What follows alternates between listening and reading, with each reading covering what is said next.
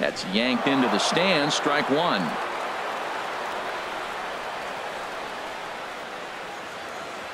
Ready with the 0-1. Ground ball. And, oh, this is off the second base bag.